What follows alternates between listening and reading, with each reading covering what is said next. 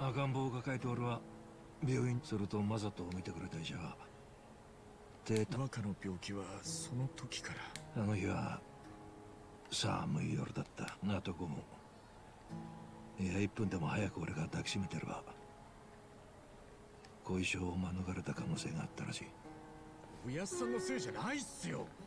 だってそんなの仕方なかったじゃないですか。一マサトのことお前にも苦労かけるな。苦労だなんてそんな。結局あいつは馴染みのスナックに逃げ込んだが氷川興産に連れ去られて俺が赤ん坊を病院に。運ぶ氷川興産の組長と組員の何人かはそれそれってえ長話だが父さすごい。そんなことがあったんですね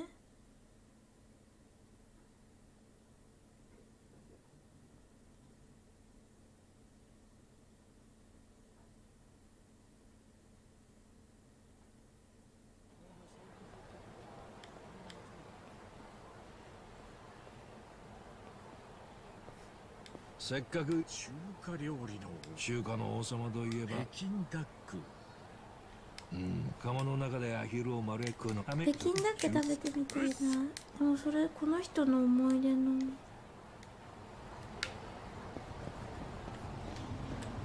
あついてきてくれてる。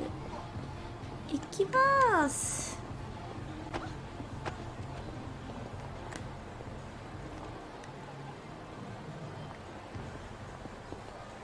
パチや。うりゃ。うりゃ。うりゃ。うりゃうりゃ。うりゃ。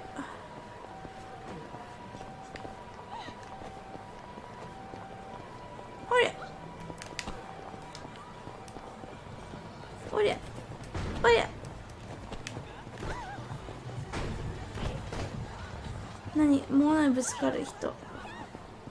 おりゃ。おりゃ。邪魔だドキドキ。おいおりゃ。荒い。すごい荒い人みたい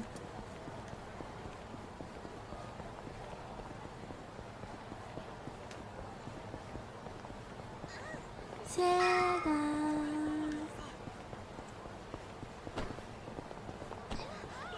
あれ通り過ぎちゃった誰だその人だ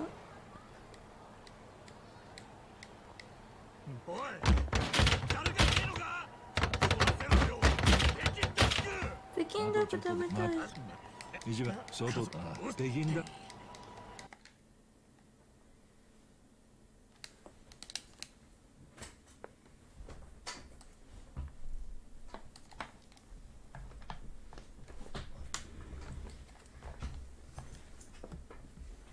しょ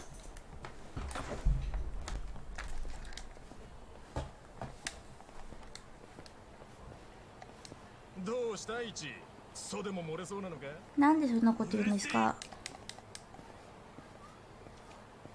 一たまには家の手伝いしてんのか？いや。はい。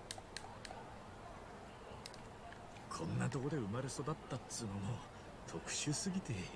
どんな形であれ家は家だ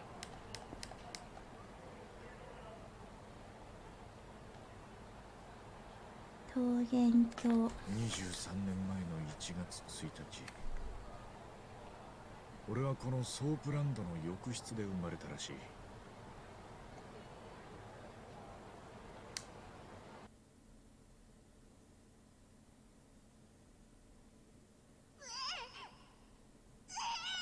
すごいソープ状態ちゃリアル出産直後に俺を置いて消えたって話は。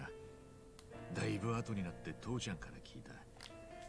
父ちゃんって言っても血のつながりはねえ俺を引き取ってくれたソープの店長だ。実の父親については一切聞かされてねえが。どうせ行きずりの客だろ。おお誰か一番を見てくれ。一番って名前かっこいいですね。ほらおいで一番待って私が抱っこする。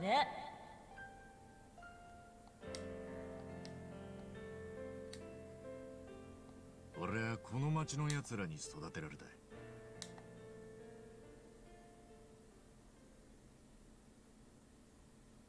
い話ですねめちゃくちゃ。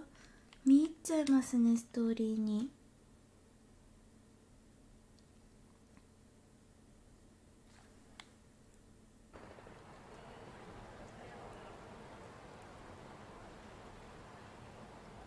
世間じゃクズって呼ばれてるような連中は俺の親代わりでして。今度は大す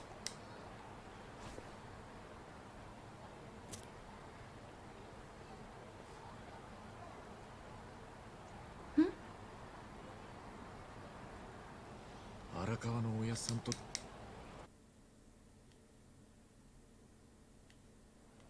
育ての父ちゃんが死んで以来俺は高校にも行かず当てもなく生きてた金のために誰彼構わず喧嘩ふっかける毎日。そんなどうしようもねえバカには天罰ってのが下る。その日俺が半殺しにした相手はヤクザだったんだ。俺はヤクザの事務所に監禁され返しと呼ばれる強烈な復讐を食らった。このままじゃ殺される。俺は助かりたい一心でその名前を口にした。荒川組。あ？荒川組。俺を殺したらあの荒川が黙ってねえぞ。当時荒川組といえば殺しの荒川組で鳴らす武闘派組織だ。ヤクザに興味のねえ俺でさえ耳にしたことのある名前だ。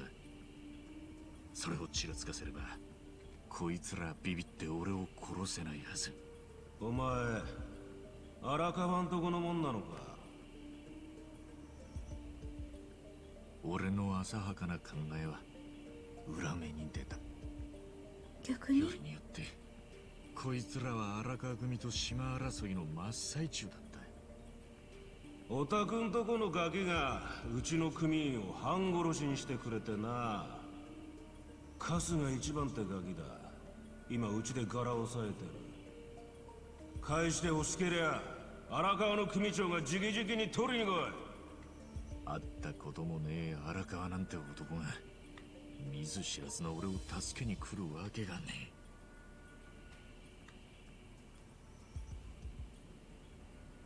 もうやっちまいませんか兄貴。そんなガキ一人のために荒川が出張っちゃきませんよ。殺しの荒川は身内にも冷酷ってわけ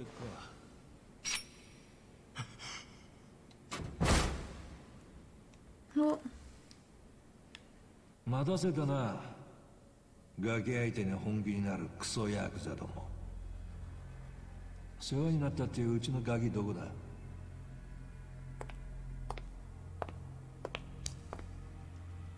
荒川さんやおめえんとこのこいつがうちの組員を半殺しにしてくれてな。どうけじめつけるってんだ。そうか。じゃあ指一本でどうだ。それでこいつを返してもらう。文句ねえだろ。借りるぜ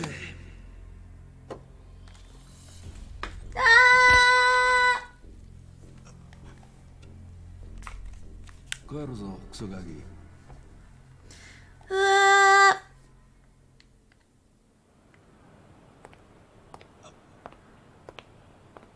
あのあ助けてもらってありがとうご礼なんていらねえよお前のために指を落としたわけじゃねえんだヤクザってのはよ。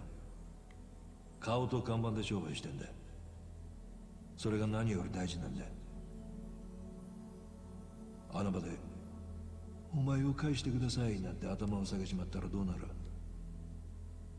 荒川組の看板が下がっちまう。ヤクザは一度でも弱いとこ見せたらしまいだ。あの場でけじめつけるにはこうする方がなかったってだけだ。でも俺のことなんか知らないって放っておいたも。んどうして？さあな。俺を知ってたガキの前でカッコつけたかっただけかもな。その瞬間俺の人生はこの人に向けて伸びる。まっすぐな道に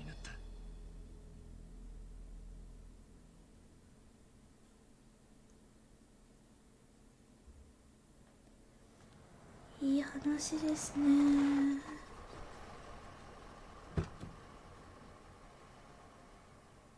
お疲れ様です。組長。またてめえか。何度言ったらわかるんだ。ガキにやる杯はねえんだよ。構うなジョー。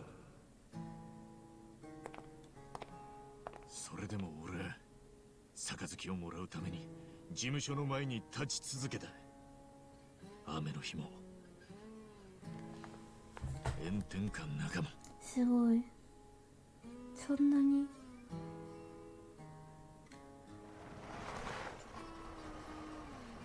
お疲れ様です。組長。誰こいつ？親父の知り合い。マサト先に上がってなさい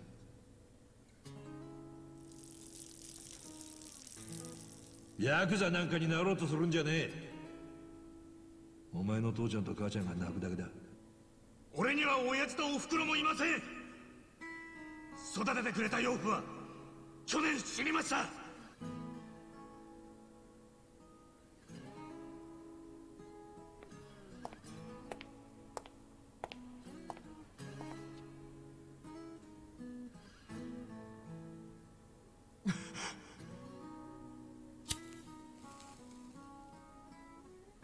来いはいそれはおやっさんに出会ってから100日目のことだったそんなに毎日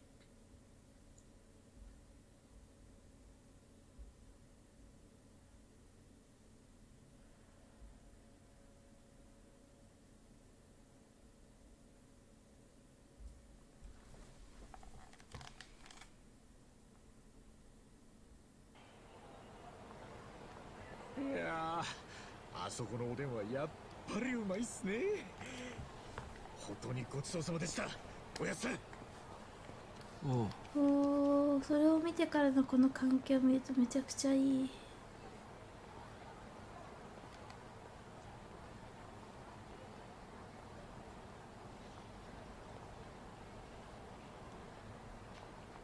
あもうすぐカウントだ大晦日に一人で来るなんて。違いおたクズを掃除するのも俺たちクズもおい掃除お前ら20世紀も終わりになるってのに病院このおじあ誰だとっとと家に帰ってジャーの誰でも聞くんだな。はあおたくらヤクザか。おいおいヤクザだってよ。マフィア映画のキャラみたいな格好しやが。っ てコスプレしてんのがコスプレ。ふざけた口聞いてんじゃねえぞ。おやっさん俺に任せてください。戦う。お前の見解見るの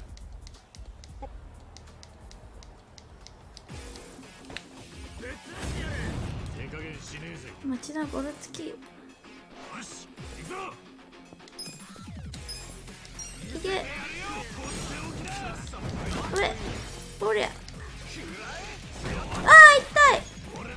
い痛い。見せてや。るよおりゃほら来いよ本気出せよあった。まきさなんだってめえこれいったおれおれおれ。挑発しないで。